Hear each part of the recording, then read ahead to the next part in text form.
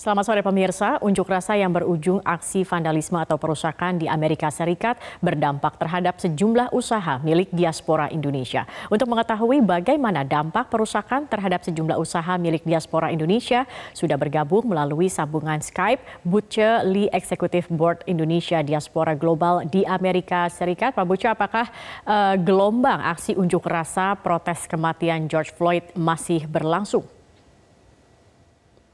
Halo, Sakia. Uh, ya, betul.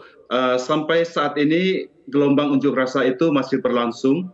Uh, jadi tadi terakhir jam 10 malam uh, saya lihat orang-orang masih berkumpul di Hollywood, uh, kemudian di City Hall, uh, walaupun sudah diperlakukan jam malam curfew mulai dari jam 6 sore sampai jam 6 pagi tapi uh, orang-orang dipaksa untuk pulang kalau tidak ditangkapin dan National Guard sudah turun tangan uh, dan juga mereka berkumpul di depan uh, rumah daripada Mayor LA yaitu Pak uh, Eric Garcetti, uh, Mr. Eric Garcetti uh, dan tampaknya besok masih akan ada uh, uh, rakyat lagi apa demo lagi, ya.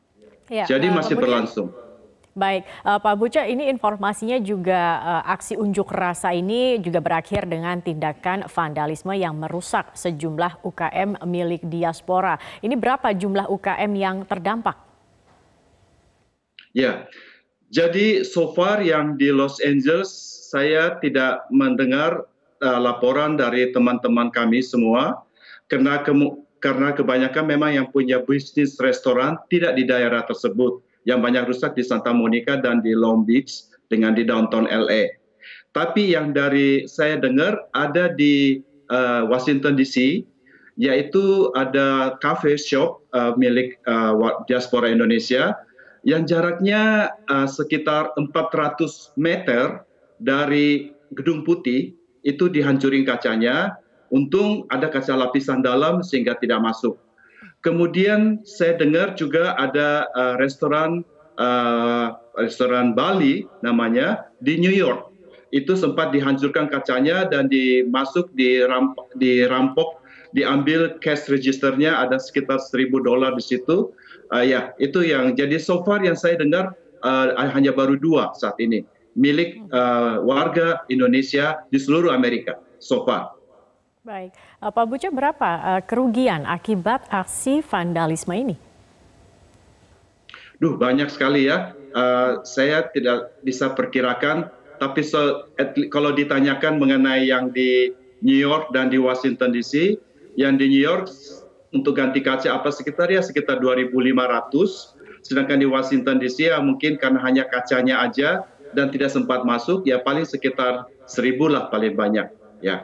Baik, Pak Bujo, kalau kita uh, melihat begitu aksi unjuk rasa ini terus meluas, apakah UKM milik diaspora ini masih uh, tetap akan uh, buka?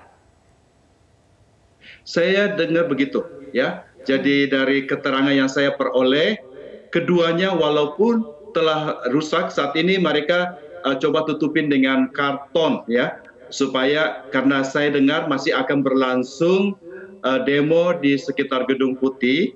Jadi saya dengar ditutupin dengan karton untuk apa mencegah orang merusak kaca. Tapi saya dengar mereka menurut mereka itu mereka akan tetap continue bisnis mereka. Ya. Baik. So far itu yang saya terima. Baik, baik. Terima kasih Pak Buceli uh, sudah bergabung bersama kami di Headline News.